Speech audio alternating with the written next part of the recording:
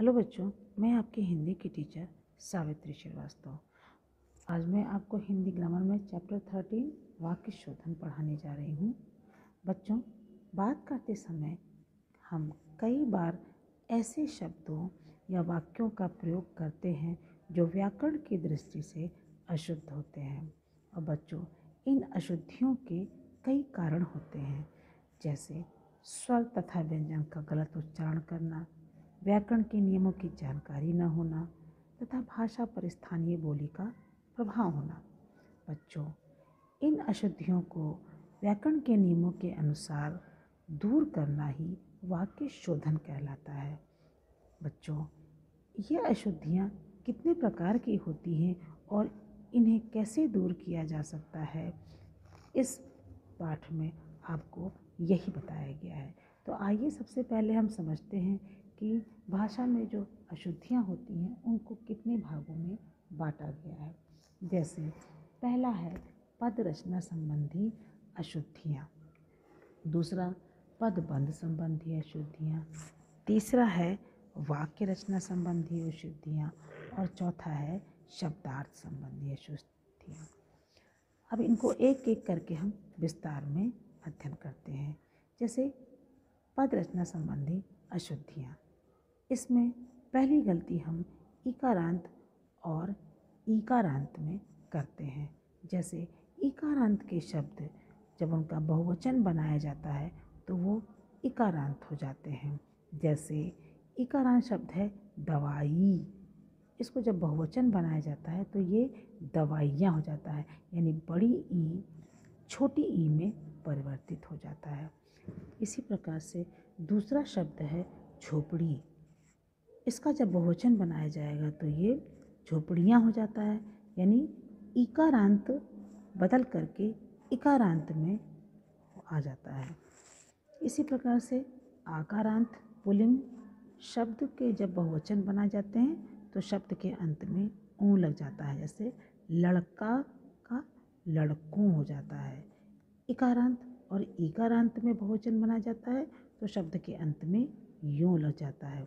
अर्थात लड़की का जब बहुवचन बनाया जाता है तो शब्द बनता है लड़कियों। इसी प्रकार से भाषा में कुछ शब्दों का प्रयोग हमेशा बहुवचन में होता है, जैसे आदेश, हस्ताक्षर, प्राण आदि। एक वचन में इनका प्रयोग अशुद्ध माना जाता है, जैसे, इस संबंध में आदेश दे दिए गए हैं, हस्ताक्षर हस्ताक्षर कर दिए गए हैं। अगला है आदर प्रकट करने के लिए। स्त्रीलिंग एक वचन शब्दों के साथ पुलिंग, बहुवचन में क्रिया प्रयोग, अशुद्ध माना जाता है। जैसे कहा जाता है अक्सर, बहन जी कॉलेज जा रहे हैं। लेकिन इसका जब शुद्ध रूप होगा, वो होगा, बहन जी कॉलेज जा रही हैं। माता जी खाना खा रहे थे, इसका शुद्ध रूप होगा, माता जी खाना खा रही थी।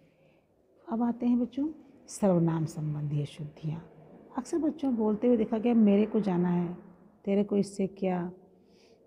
तो इस तरह की शुद्धियाँ की जाती हैं। जैसे मेरे को जाना है, लेकिन इसका शुद्ध भाषा होगा, मुझे जाना है। तेरे को इससे क्या मतलब? यानी तुझे इससे क्या मतलब? या तुम्हें इससे क्या मतलब? मेरे को स्थान पर मुझे और हमारे को के स्थान पर हमें का प्रयोग किया जाना चाहिए। अगला आता है कारक संबंधी अशुद्धियाँ। जैसे संज्ञाओं के गलत कार्य के रूपों में या परसर्गों के प्रयोग से भी कई वाक्य अशुद्ध हो जाते हैं। जैसे एक वाक्य है, मैं, तुम और वह साथ जाएँगे। इसमें कारकीय अशुद्धि है। इसका शुद्ध वाक्य बनेगा, तुम, वह और मैं साथ जाएँगे। इसी तरह से दूसरा वाक्य है, मैं और तुम मिलकर पढ़ेंगे। इसका शुद्ध वाक्य बनेगा, तुम और मैं मिलकर पढ़ेंगे। बच्चों, दूसरी प्रकार की अशुद्धियाँ आती है पदबंध रचना संबंधी अशुद्धियाँ। इसमें पहला है, विशेषण विशेष विशेष के प्रयोग के कारण आने वाले अशुद्धियाँ। इसको एग्ज़ाम्पल के द्वारा समझाया गया है, उदाहरण के द्वारा समझाया गया है, जैसे यहाँ शुद्ध सरसों का तेल मिलता है। लेकिन इसका शुद्ध वाक होगा, यहाँ सरसों का शुद्ध तेल मिलता है। इसी प्रकार से एक सेब की पेटी ला दीजिए, लेकिन इसका शुद्ध वाक्य बनेगा, सेब की एक पेटी ला दीजिए। दूसरा है पदबंध संबंधी अशुद्धियाँ। जैसे उपाय शब्द के साथ लेना नहीं होता है, उपाय करना होता है। घर, किसी के घर जाने को हम पधारना नहीं बोलते हैं, घर आना या जाना कहते हैं। धन्यवाद करना नहीं होता है, धन्यवाद देना होता है। जैसे, सरकार इस संबंध में उपाय ले रही है, ना कहकर कहा जाएगा कि सरकार इस संबंध में उपाय कर रही है।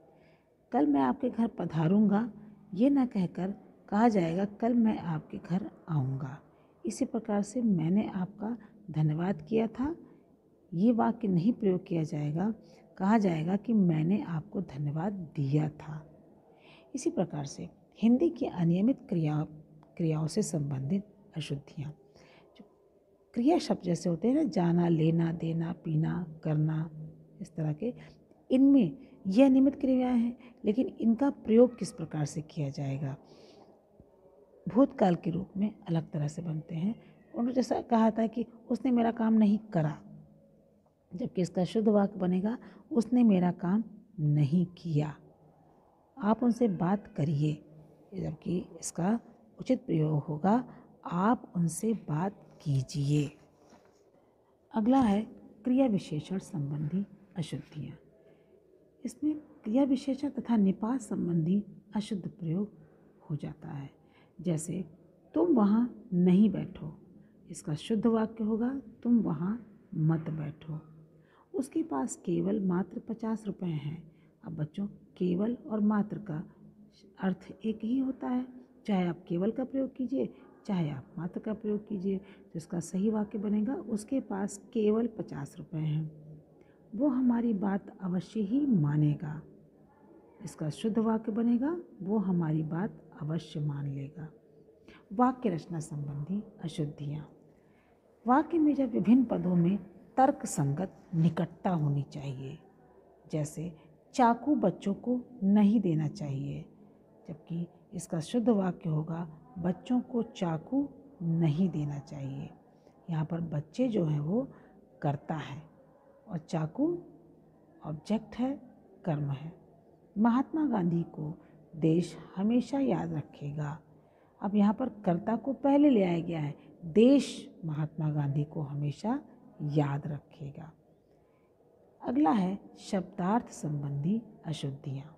बच्चों, एक शब्द के पर्यावाची होते हैं, कई पर्यावाची होते हैं, लेकिन उन सभी का प्रयोग अलग अलग तरीके से किया जाता है। जैसे, मुझे पीने के लिए नीर दीजिए।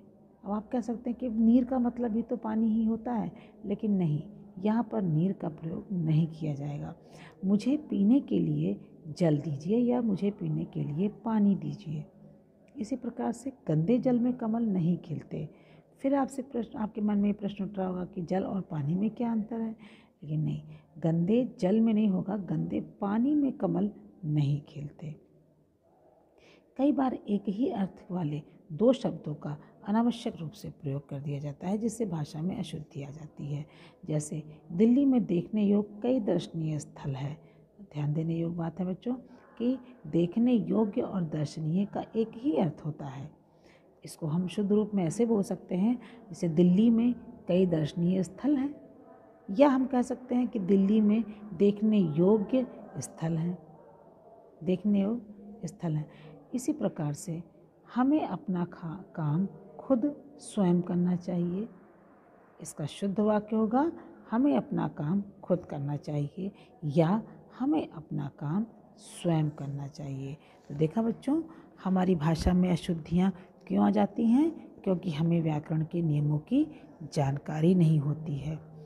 जब इन चीज़ों की जानकारी हम गहराई से कर लेते हैं तो हम कभी भी अशुद्ध भाषा का प्रयोग नहीं कर सकते हैं। धन्यवाद।